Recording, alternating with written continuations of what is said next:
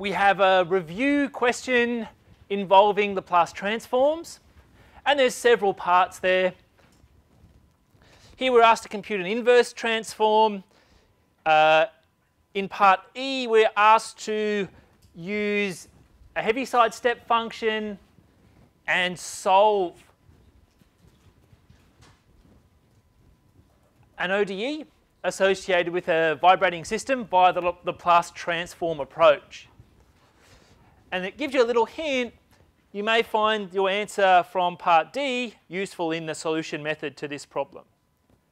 Okay, so what we're going to do is work through step by step and just um, knock the questions over one by one.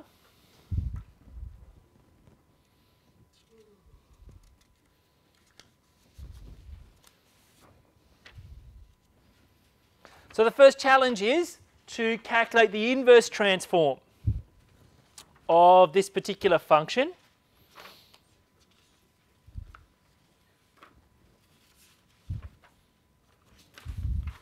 Now, if we look at the form of this function, you can write it as the following, if you like. It's an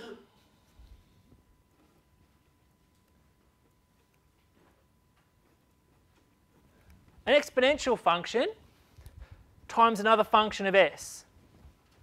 Okay, in this case, big G of s would be um, s on s squared plus 1.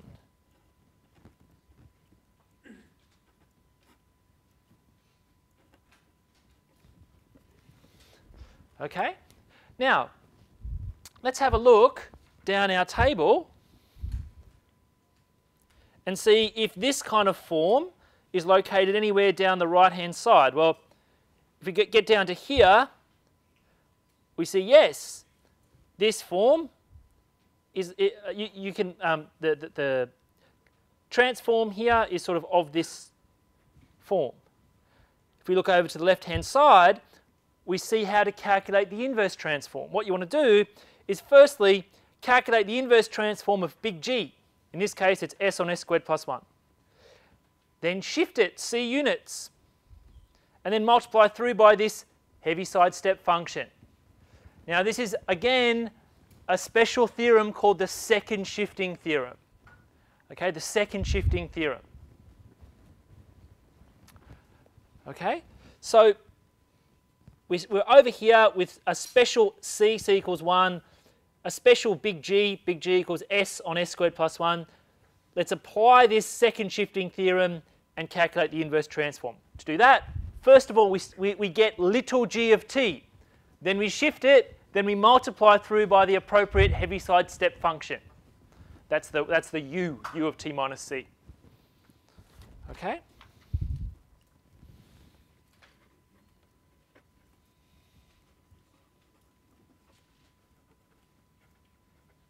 the second shifting theorem.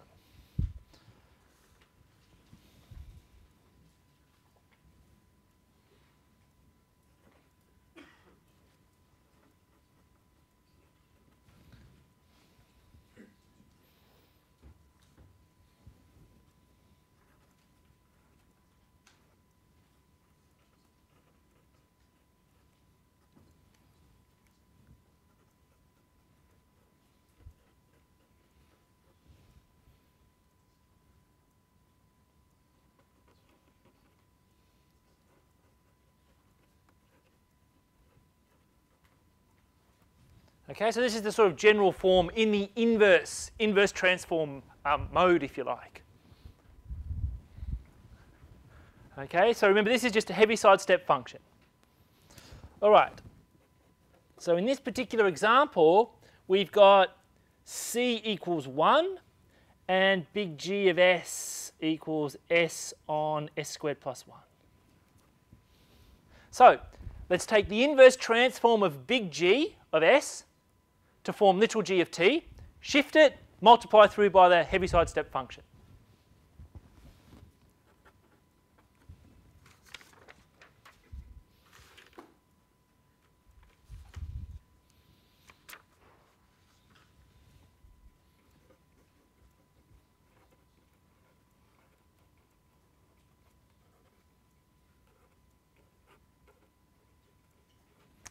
Right, we have to take the inverse transform of s on s squared plus 1. So let's have a look down our table. We get down to here. Well, that looks pretty good. If I let b equal 1, I'll get s on s squared plus 1 down the bottom. So the inverse transform of this would be cos bt with b equals 1. So it's just cos t.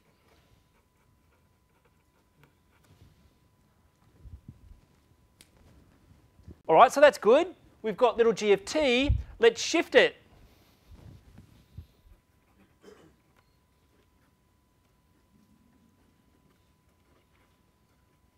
So we replace t in our little g with t minus 1 in brackets.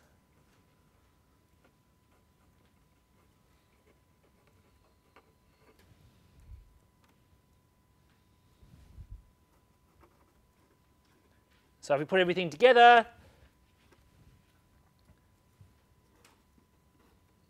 multiply through by the Heaviside step function. In this case, it will be u of t minus 1.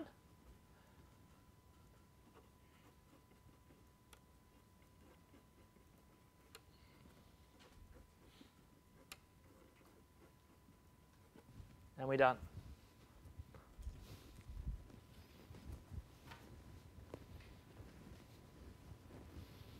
Okay? Now again, you might not want to write down all of that stuff. You may just be able to to do it far more quickly than that, that's okay too. Any questions?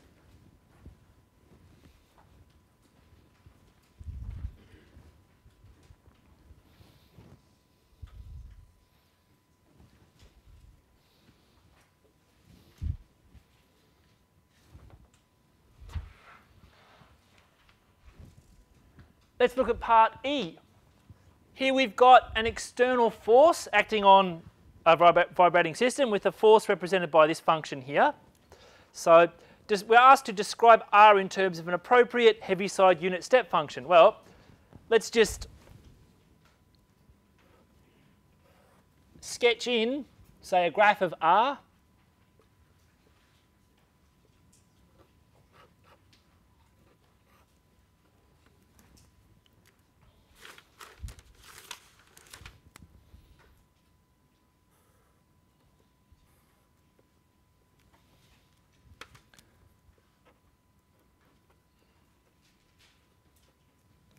Now, does it look familiar? In fact, that is the Heaviside unit step function where the jump occurs at t equals 1. So, this is actually a special Heaviside step function. So if we wanted to write it as a unit uh, Heaviside step function? Well, here it is, right here, this U, U notation. Let's have a look at the last part then, which is far more involved. We've got a second order differential equation, linear, inhomogeneous, constant coefficients, and you've got some initial conditions. So in this vibrating system, R of t could be thought of as an external force. Y of t could be thought of as the displacement from the equilibrium point at time t. The initial conditions, y of 0 and y prime of 0 both equal 0.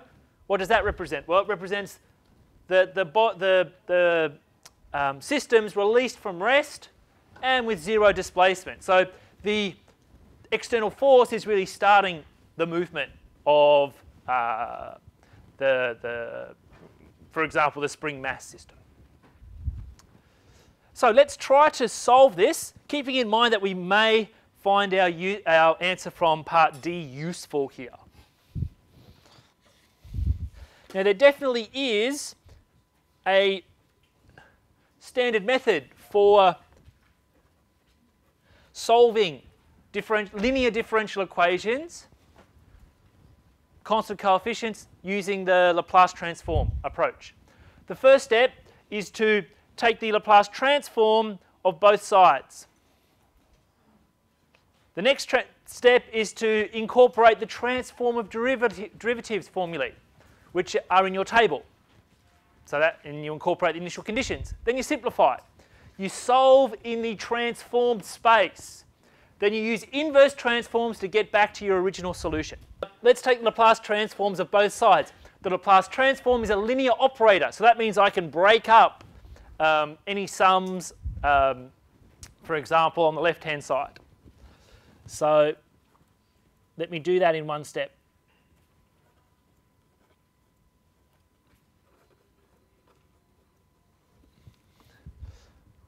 Remember the curly L means the Laplace transform of what's inside the curly brackets. Okay, well, let's look at our transform of derivatives. We want to take the Laplace transform of the second derivative of the unknown function y. Well, if you look down here, well, I've got g here, doesn't matter. You look over here, this is the, the, the form, the transform of derivatives that we want to use if we look over here, uh, we already uh, discovered that r of t is just the Heaviside step function. So if we look down here, I've got the Heaviside step function there. The Laplace transform is in this form. And in our case, c equals 1. So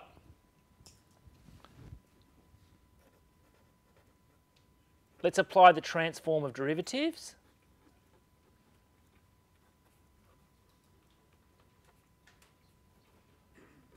Now, this one is sort of the derivative of the zeroth order, so I'll, I'll just leave that alone.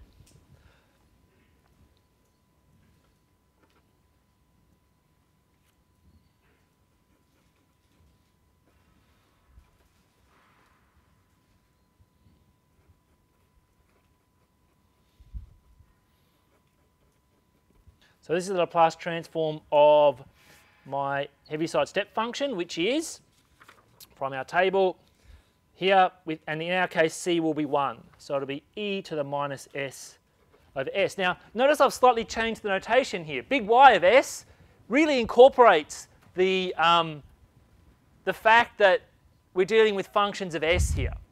Okay, so let me just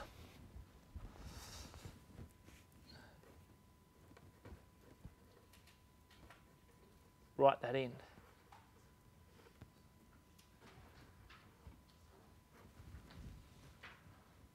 Okay? So, now what our job is, is to incorporate the initial condition. So let's simplify this and solve this basic algebraic equation for big Y of S. Okay, so that's going to be 0 from that initial condition. That's going to be 0 from that initial condition. I have a common factor of big Y of S then. So I can factorize and rearrange.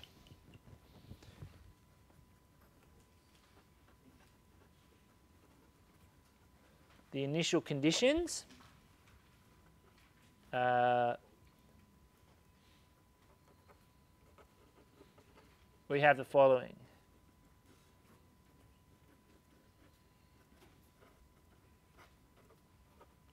And then if we rearrange,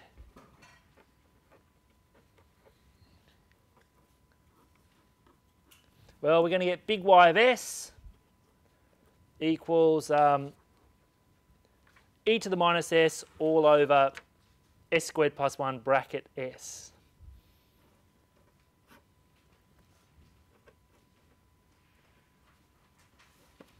Okay, so we're at a good point now. We've solved the problem in the transform sort of algebraic setting. What we would like to do now is use inverse transforms to get everything back to our functions of t in our solution. So the question now is, how do you take the inverse transform of this? Well, if you look down the list again, it's very hard to see um, what to do here.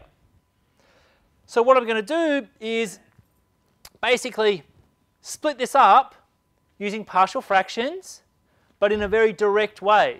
Okay, if I split that up, I'll, I'll get something like um, uh, so uh, I'll get an exponential times some simple functions. Okay? Then maybe I can use um, the table. So let's see if, if we can work that out.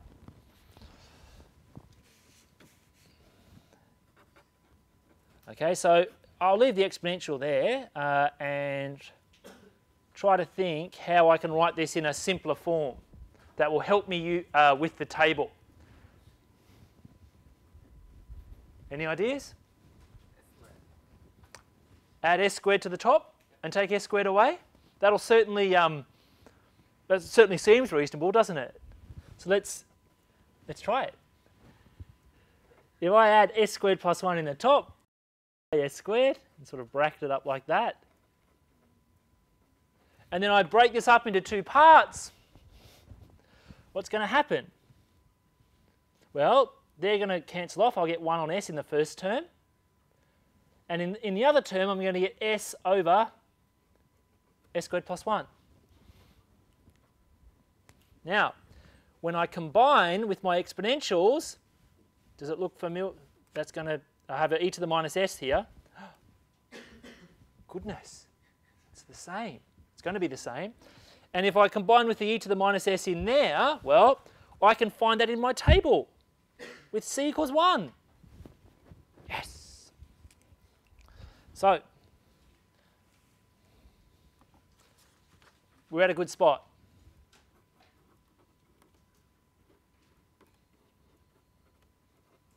Our solution to our, well, I guess our initial value problem is just the inverse transform of this. So let's write it in this form and then um, see if we can easily calculate the, the inverse transforms.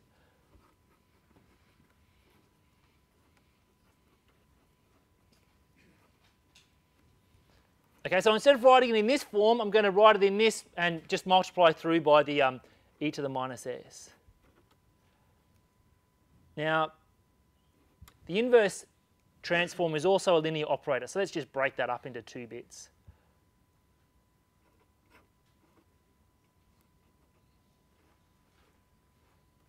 Now, okay, that is an inverse transform.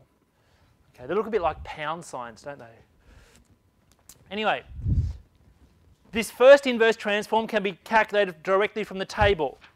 Okay, we just go down here, c equals 1, it's going to be the, the uh, uh, Heaviside step function with c equals 1. This inverse transform has already been calculated from part D. Okay, the inverse transform was this. So we can write both of those down.